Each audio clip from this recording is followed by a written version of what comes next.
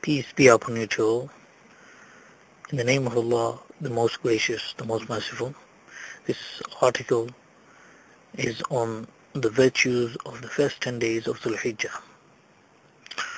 Worshipping in these days holds the highest form of rewards from Allah than the worship of any other days of the year, except from that person who loses his or her life and wealth in the struggle and striving for the sake of Allah subhanahu wa ta'ala.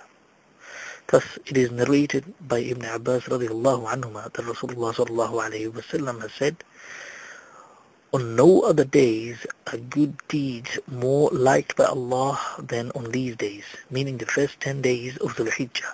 The companion radiallahu anhum asked Rasulullah not even struggle in the way of Allah? He replied, not even struggle in the way of Allah, except for that person who goes out to struggle with his life and wealth and does not return with anything. Bukhari. Every day's fast in these days is equivalent to the reward of fasting a full year. Every night's nafil salah will gain you the reward of standing to pray in the night of power, Laylatul Qadr, which is the reward of worshipping 83 years and 4 months.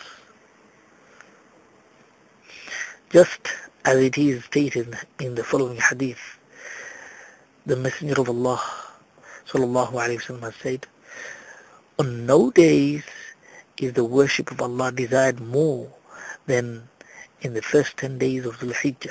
The fast of each of these days is equal to the fast of a whole year and the worship, ibadah of any of these nights is equal to the ibadah of the night of power, Laylatul Qadr. This hadith taken from Tirmidhi and Ibn Majah. Number three, we should actively commit, recite increasingly the following rewarding acts. Subhanallah. Tasbih, glorifying Almighty.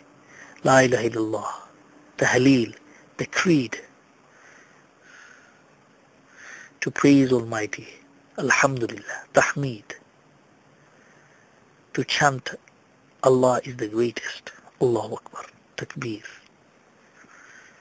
Thus it is narrated from Ibn Abbas radiallahu anhuma that Messenger of Allah said, sallallahu alayhi wasallam, no days are as weighty with Allah and so light by Him, subhanahu wa ta'ala, for good deeds than the first 10 days of Dhul Hijjah.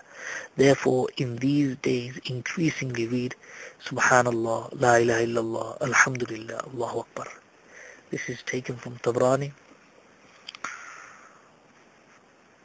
Now, for one who is performing Qurbani, it is an act of mustahab to refrain from shaving, trimming hair, and clipping nails in these days of Zulhijjah.